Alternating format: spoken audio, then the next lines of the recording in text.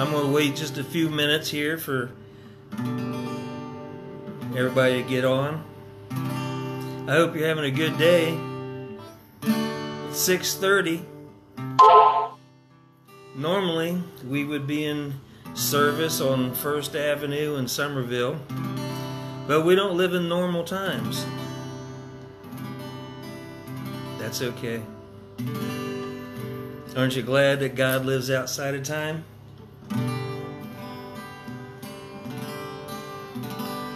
Hallelujah. It's beautiful out today here in Summerville and Lafayette. Sky's blue and sunny. Wow.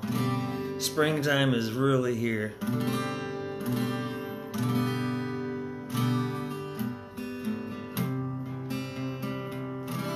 I haven't played this guitar for years. This is my this is a guitar I've had almost almost 30 years. Yeah, I just got to keep it hanging on the wall in the studio here at my home. And we'll give it just another minute here and we'll go ahead and get started. I'm to tell you that we're living in a time of, uh, well, Timothy called it, well, Paul said to Timothy, he said it was a perilous times. And that translates to times of dangerous opportunity. And that's where we're at. We have a huge opportunity to witness to people, to instill faith in place of fear. Hallelujah. I can't help but look outside over my. I got a pool, trees are budding. It's gorgeous here in Georgia. I thank God that He led me down here to Georgia because I pastor some of the greatest people on the face of the earth. Hallelujah. Before I start, I'm going to go ahead and pray. And if you're feeling bad, you're feeling sick, you're feeling afraid, let all those feelings of lowliness, of ill health, fall to your feet. And let the healing balm of Gilead, from the top of your head to the bottom of your feet, just begin to lift you up. Father, I thank you, Lord, for those that are watching right now and those who will be watching later. Lord, I ask that you would just supernaturally touch them with your righteous right hand. Lift them up, Lord. Lift them up in spirit, lift them up in body, lift them up in mind. Let no fear overtake them, Lord. But Lord, let their faith arise. Hallelujah. We give you praise that it's so. That if we'll just keep our minds stayed on you, we will be triumphant in you. Just a closer walk with thee. Granted, Jesus is my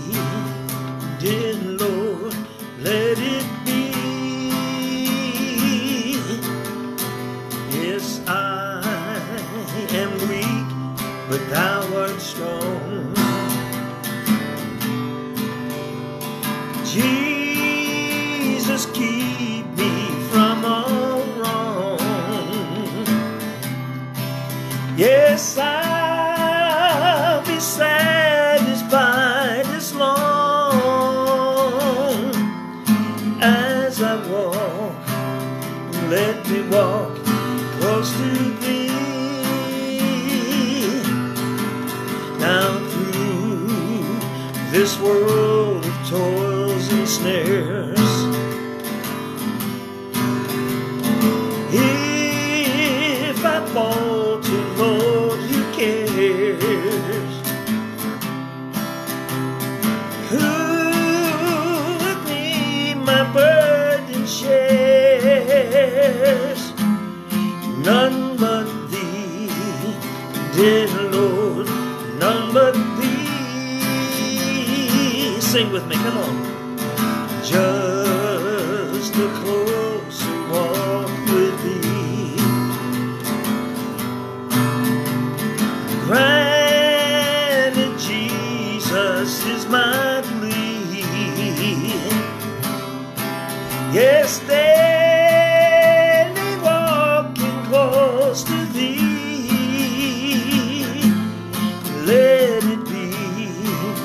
Yeah, Lord, let it be.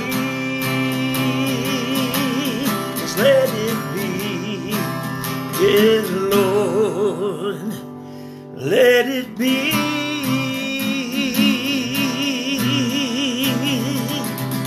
Yes, that's all we need.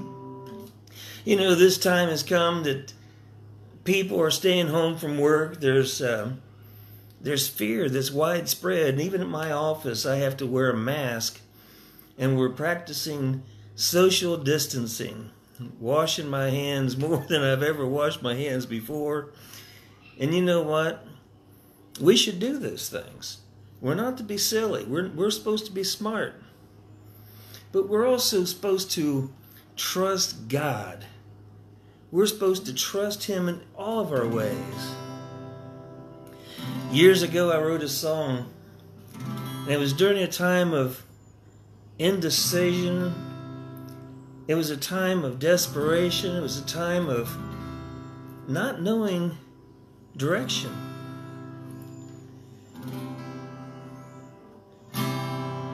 Where will you lead me? And what will you do? How can I look ahead and not look to you? I know your love is with me throughout.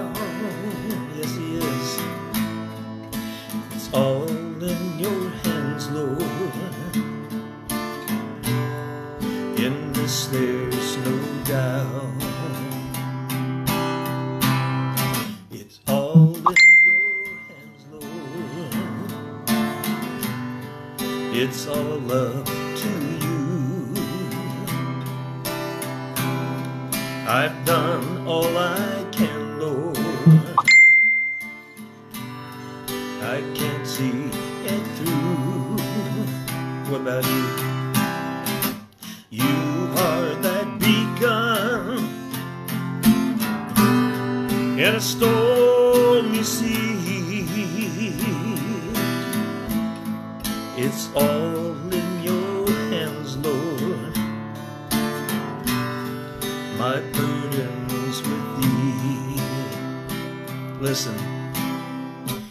I'll take the steps you've shown by the footprints you've laid. And I'll say the words I hear from your soft voice today.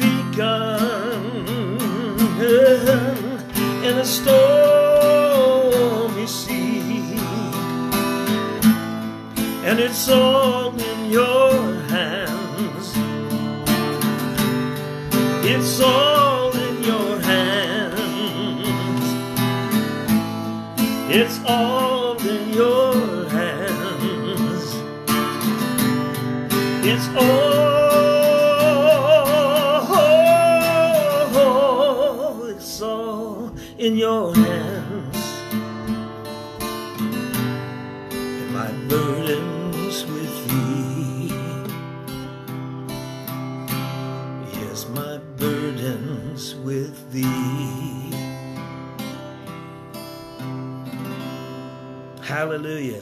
Isn't it nice to know that you don't serve an inanimate God, a, a God who's a figment of an imagination, but he's alive. He sits on the throne. we serve a living God that loves us, with, loves us with everything that he is. He calls you and I his family if you've received him as Lord, as Savior. Hallelujah. I want to just go right into this real quick, and I don't want to keep you too long. I know you're you're busy in your lives. But you know what? We need to get together. We need to feed together. We need to worship together.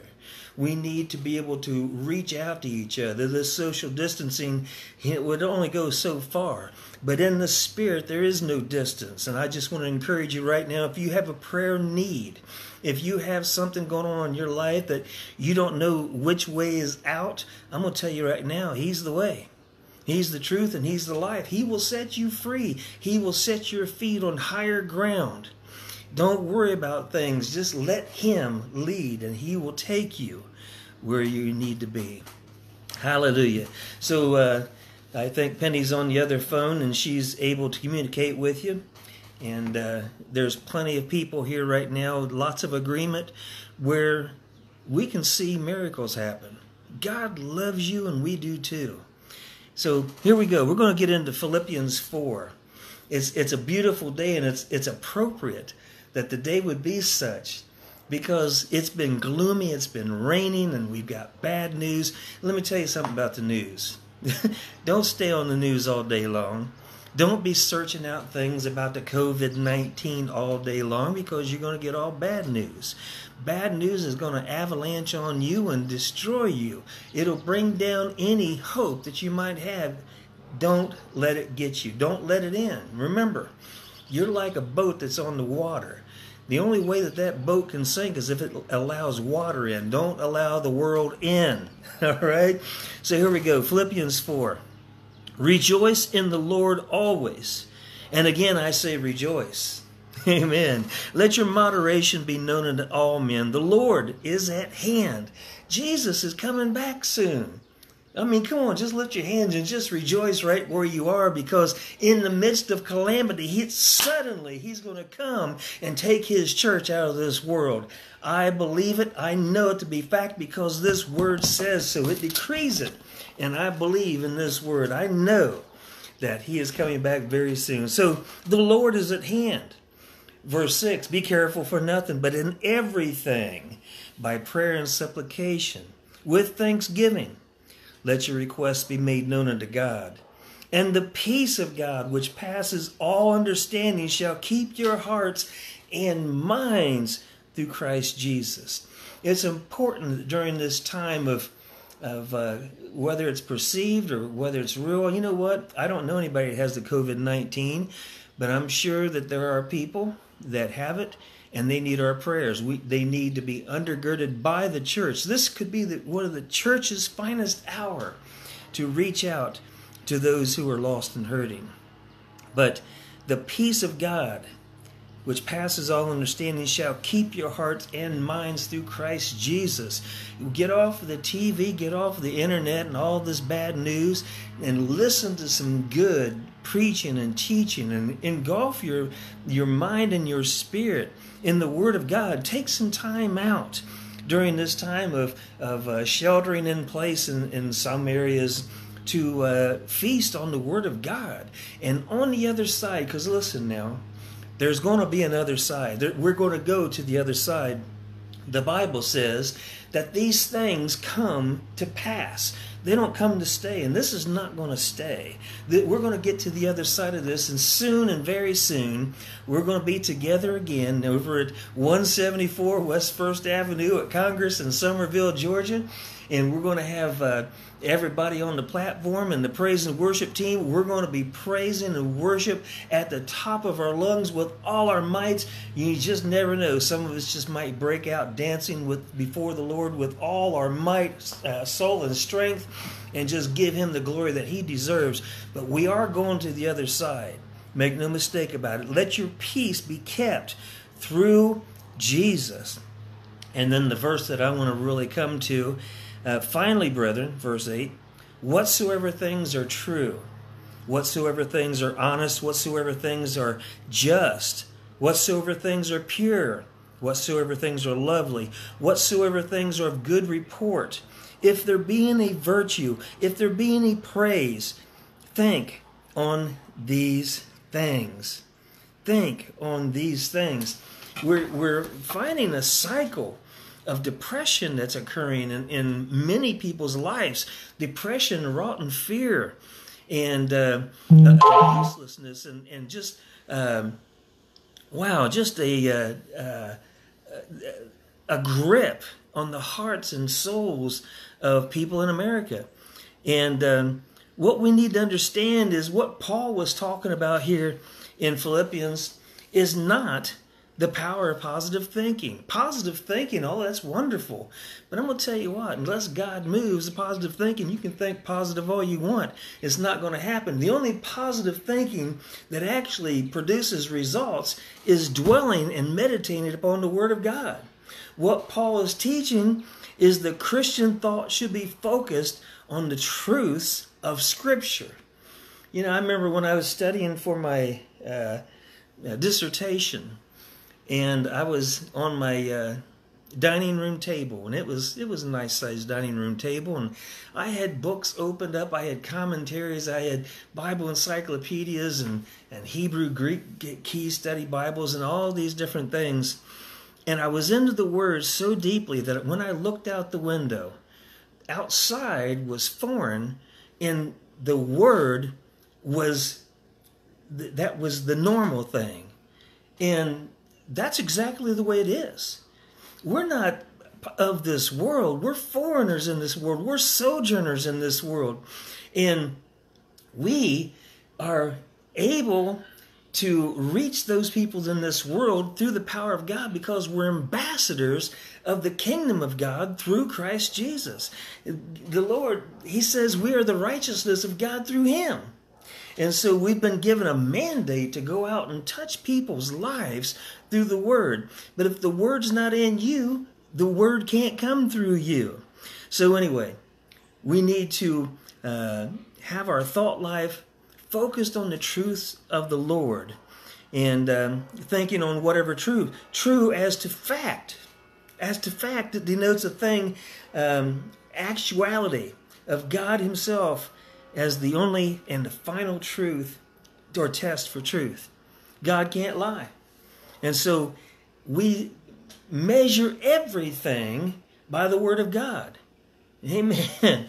And so think on whatever is honorable, noble, that which inspires reverence or awe, and is dignified, worthy of respect. You know people like that. You know the, the Spirit of God.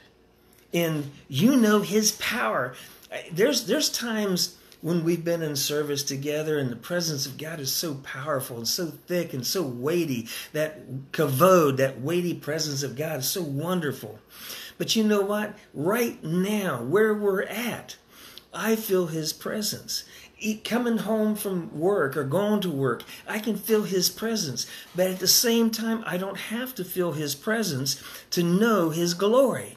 I know His Word, which brings the glory of God. Hallelujah. So, thinking on whatever is true, thinking on whatever is honorable, thinking on whatever is right. I wrote in my column this week in the Summerville News, uh, according to the scripture. And I remembered a time in Ohio, it was wintertime, and I was, our house, our, our living room faced the back of our house. And so I was looking out the window and there was snow everywhere and we had a nice backyard with trees and everything. It was just piled up with snow. And I'm sitting there and I'm thinking, wow, the streets are really filled up. And I started getting all worked up. And I started thinking, wow, how, how am I going to pay for the, the gas and the electric? And what about the gas for my car? And what about food? And what about this? And what about that? And I started getting in a tizzy. I started getting all uptight. And then I realized, wait, wait, wait, wait, wait. I backed all that, those thoughts down because those thoughts were of something that wasn't even here. It was a fear that was trying to come, come upon me for something that wasn't even present. And I started thinking, wait a minute, I have heat on. And I thought, wait a minute, you know, what's real here? I've got food in the refrigerator.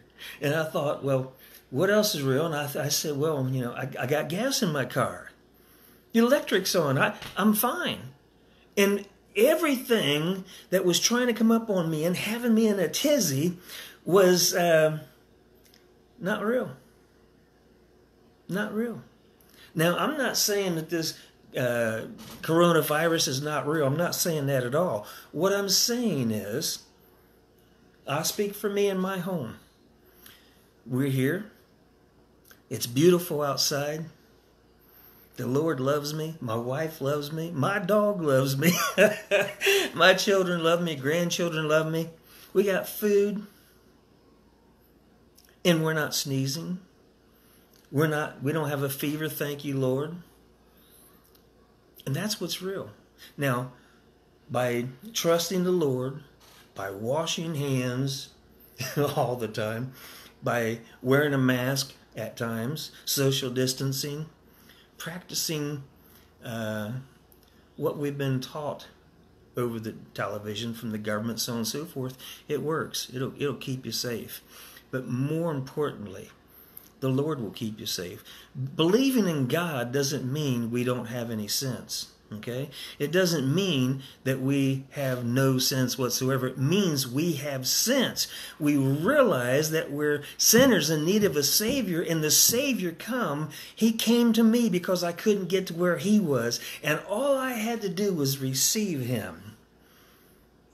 It makes sense. We have a lot of sense. Let the Lord, let the Lord minister to your heart today. Let Him teach you more about Him. You got some quiet time. You got some times that uh, you're not as busy as you have been because of everything that's going on. Those people who um, may be sick that you know of, well, you know what? Send those uh, names to us that we might pray over them. I believe in the power of prayer. I've seen people healed. I have been healed. Healing is for, it's the bread for his children. So don't be afraid. Anybody that you know, send them to us. We're going to pray for them. And uh, I'm, I'm hoping, I'm trusting, I'm believing that we'll be back together around Easter. But if not, we're still going to worship the Lord. We're still going to have a good time in Him. And we're going to still trust Him because He's trustworthy. And there is going to be another side. We're going to the other side. And it won't be that long. Trust in the Lord, wash your hands, pray, do what you do because God loves you. He won't let you down. He won't let Himself in you down. Praise the Lord. Um, I just want to do one other thing here. Um, if you uh, would like to give to the church, I know there's uh, quite a few members of the church that's on here right now. You can text GIVE to 844 817 5853. That's a secure, safe uh, way to be able to give. And, uh, well, just like everybody else, you know, the, the church has got responsibilities. So you just give as the Lord leads you. Uh, we trust Him, and we trust Him to speak to your heart. And uh, we know that your obedience is ever growing in the Lord. And, uh, you know, the uh, coronavirus again. Don't let you, don't let it get you in a tizzy. Just be smart. Be smart, and uh, pray for people.